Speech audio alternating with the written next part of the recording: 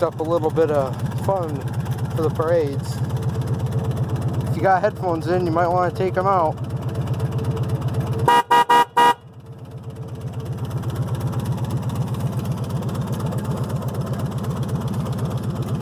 When it warms up a little bit, I'll wash her up. But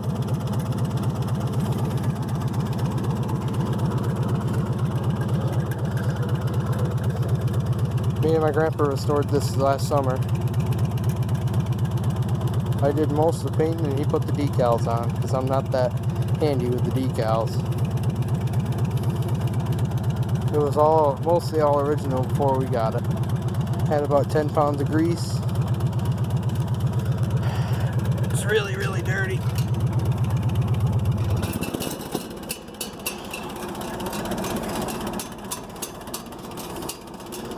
I bought it off a guy, they were gonna scrap it. Put a carburetor, fresh gas, and a oil line a battery, and off she went.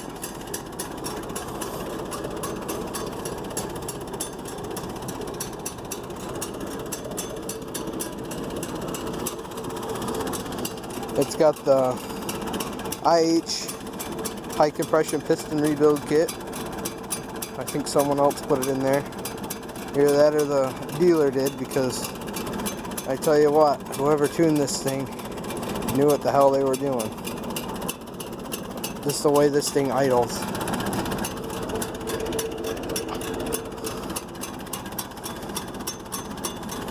It's about 30 degrees.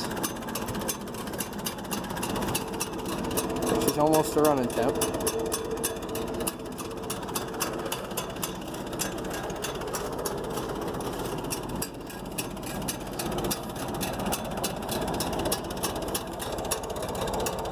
Got pretty good oil pressure.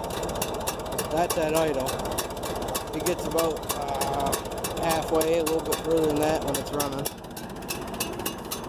Just runs like a top.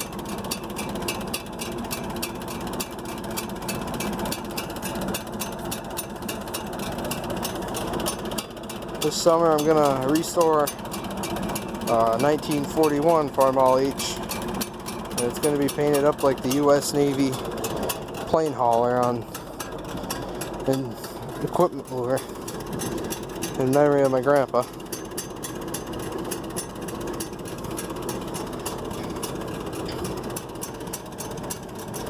Well, I should have more videos coming this this summer. Get a rocking and a rolling at them. Hopefully we can finish two more tractors this summer. We finished finished this H this summer.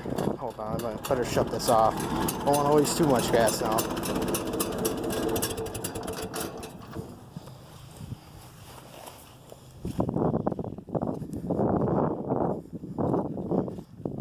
We restored this H this summer. Turn the copyright music off real quick.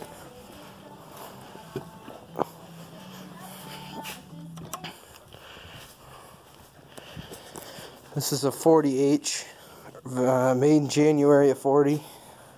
It's got the 39 top bolster or covering cover transmission cover. And this is weird. When it, I think possibly when it came out of the factory, they might have not ran out of the old style seats, or someone didn't want one when they ordered it, and they put this plate and the newer style seat on it. I, I believe. I, I don't think. I don't. I don't know. This tractor's got Tisco rebuild when we bought it. It's got it had brand new front tires. These are my grandpa's old tires, and he uh, put on it. So don't know if you guys, there it goes. She's a 40. Need to get a top for this battery box soon. But it's got a matching kerosene manifold for switching it from gas to kerosene or power fuel. It's got It's only got one piece for the radiator shutters. But it also has a small gas starting tank with the cap. I missed a little bit on the cap. I'm going to touch it up when it warms up. But we got belt pulley. Yeah, and on this one it's got the 39 belt pulley. If you can read that, it says 111J, I believe. Uh, but on the 39s, you would sit here and you'd pull on the clutch and then use your other hand to engage the belt pulley. Whereas on newer style, it'd be on the other side and you'd push be uh, you'd start on the operating platform. But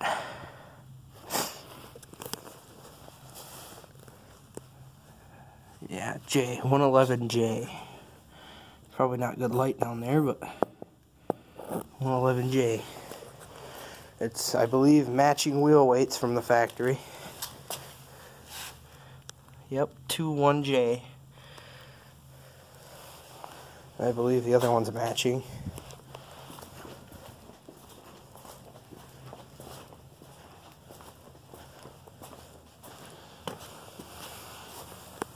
Yep, 131J. This tractor's mostly all original parts except for the tires. Probably new in the rebuild kit. Other than that, this tractor hasn't even been touched basically since we painted it. Someone had repainted it before and they painted over the original paint and it, it just didn't look very good. But it's actually got an IH muffler which I believe could have been the original muffler. It might have been, but it's been worked, you can tell. I had it out this fall, uh, disking, disking up a food plot for hunting season. I put it in third and let her open and drop the disc and off she went. I didn't even feel like she was being worked. The lights work on this one. both lights work. The back one, I have the light, but we were in a rush to paint it for a tractor show this year, so I never was able to put it back on. But other than that, this is a darn fine tractor. I mean, she's she really is a, a sweet running machine. We'll take out here in one shed with two tractors in it.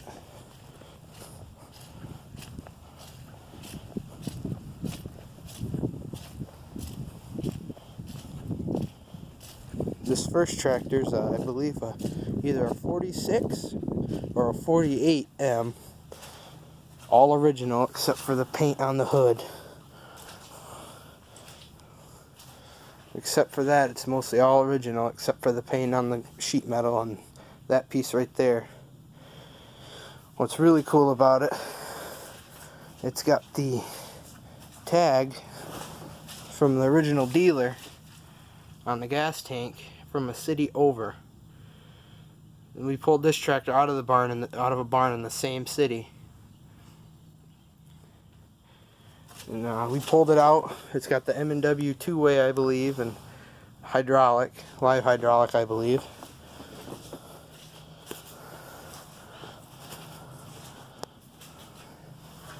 You probably, guys would probably tell me for, if it's a 48 or a 46. Get a good look at it. I believe it's a 46. But I took this up to plow day pulled a John Deere disc with it. Can't remember the model or anything, but she's a smooth. She's just the same as all the other ones. Just a smooth running machine. Oh, you guys ought to get a kick out of this one. My grandma wanted a tractor painted. It's painted purple and white with two steering wheels and two seats for parades. Got the 12 volt mini alternator cheap lights just to give it that weird look. It's got a chrome shift knob, chrome uh, suicide knob, and a cup holder.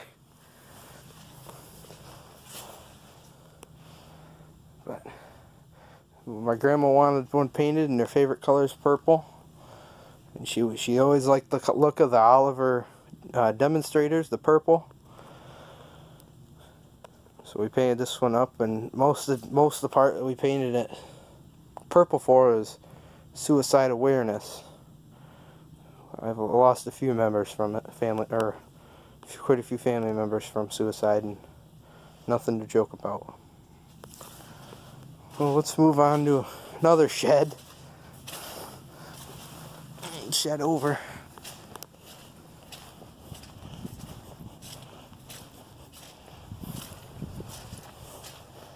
This one's got three tractors in it. Probably won't be able to fit through with my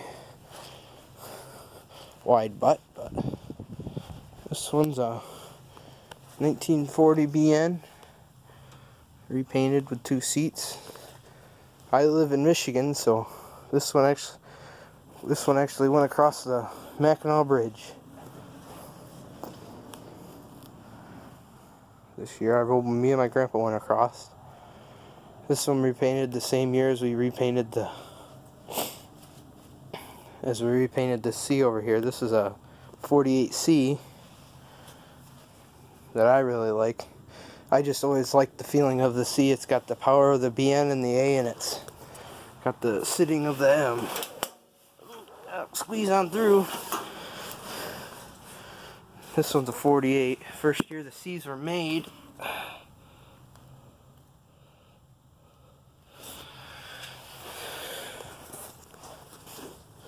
This one we we took went through and probably probably seen it in my cold start video of this. It uh, we went through it uh, almost the whole motor, except for the crank and the main bearings and the pistons and connecting rods, and went through the whole thing. I bet you John Deere guys will get a kick out of this. I know a John Deere. What is that? A 720 or a 620? I think it's a 720. Yeah, it's a 720. But I already know a 720 will outpull this old C, so don't even mess with me on that one, guys. This one I haven't put the lights on yet. I have the lights, I just need to wire them up and get bulbs. Back there's a 1940A with no starter. It has no starter no starter at all. It's got brand new tires, all that. Pretty straight. It's almost pretty near all there. I've got the uh, two row or three row cultivators for it. It has wheel weights. I plowed, dug up the garden with it. I guess we'll move on to the two last tractors.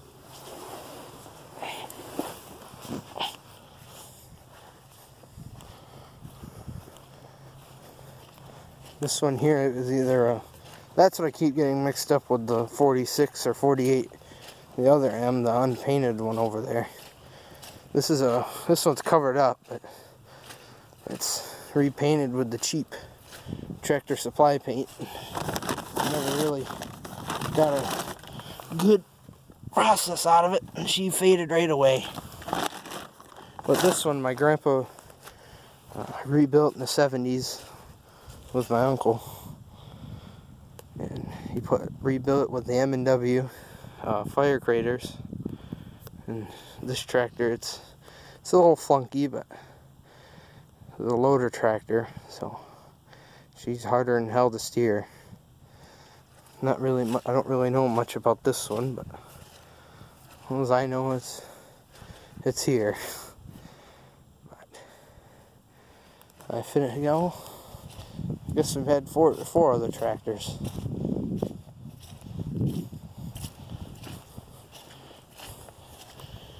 Over here we got another BN for parts, a parts tractor.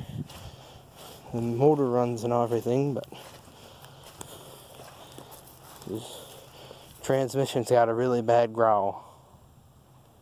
Really bad growl. It's got, I believe it was a pulling tractor because before we got it, it was a pulling tractor because it's got the great big tires and it's got the rack for weights that someone put on there. This one's actually got the PTO shield, unlike uh, almost all the BNs that we have. Here's the, we'll come back to this. That's that's a whole nother story. Here's another BN. I don't remember what year this one is. It's I think it's a 44 or a 45. Yeah, this one's got a bad transmission. The motor runs. It's just a process of finding another transmission to fix it within price range because a lot of people think they're worth $12,000 if they're sitting in the woods for 12 years. This is not really much of a story behind that one, but for parts. But this one, this one right here has got a lot of sentimental value to me. This is actually my great grandpa's 1943M almost all original except for the sheet metal. I have the I have the original sheet metal. But this she was worked hard, very very hard. She had a rough life, let's just say that. I need to this summer I'm hopefully I'm just going to get an entirely new running motor and just switch it out instead of dealing with the wore out old junk. I need a new radiator. But she was worked dry and put up wet. But this is a 43 which was made during the war. So it actually has the IH cast iron shift knob that threads on.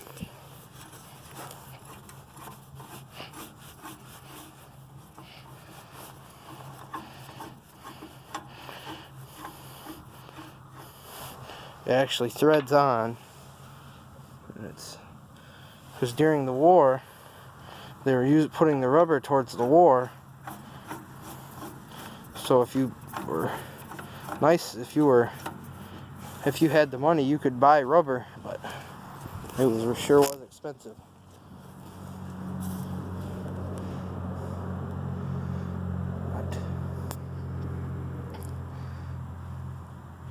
She needs lots of work. It's got one brand new tire and this one's wore right out. I believe if you can read the serial number, you can see that it's a 43.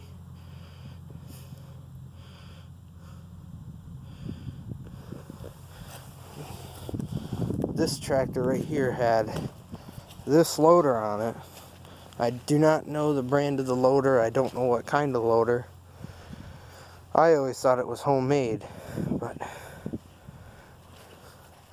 actually, my house right there, right across from those woods, there's a great big pond. And that tractor actually moved the dirt in the pond that I live at right now. That's, it's, it's, just something that gets to me still here after all these years.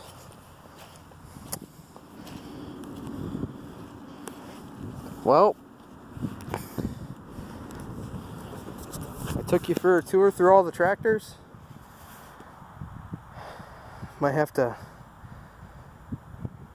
like, comment, subscribe, share the videos.